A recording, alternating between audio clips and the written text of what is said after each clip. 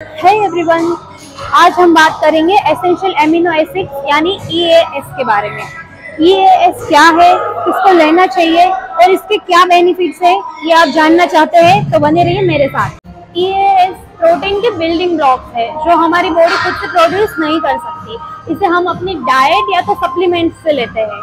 EAS में no essential amino acids होते हैं, जैसे कि लियोसिन आइसोलियोसिन वलाइन वगैरह। ईएएस किसको लेना चाहिए? अगर आप इंटेंस फ़िज़िकल एक्टिविटीज़ करते हैं तो ये आपके मसल प्रोटीन सिंथेसिस को इन्हेंस करने में हेल्प करेगा। रिकवरी में भी हेल्प करेगा परफॉर्मेंस को बूस्ट करेगा, और तो और आपकी इम्यूनिटी और कॉग्निटिव हेल्थ को भी सपोर्ट करेगा। डिवाइन न्यूट्रिशन का ई डबल ए गोल्ड क्यू क्योंकि ये नो एसेंशियल एमिनो एसिड्स का सुपीरियर ब्लेंड है। हर सर्विंग्स में 8.5 ग्राम्स है। ये फर्मेंटेड है फास्टर एब्जॉर्प्शन के लिए एंड इंस्टेंट और माइक्रो इनकेप्सुलेटेड है इजी मिक्सिंग के लिए। एग्स को अपने फेवरेट बेवरेज में मिक्स करें शेक करें और रेडी है आप। आप अपनी फिटनेस को नेक्स्ट लेवल पे लेके जाना चाहते हैं तो ट्राई करें डिवाइन न्यूट्रिशन का E double A gold video को लाइक करें और अपनी क्वेरीज को कमेंट्स में लिखें।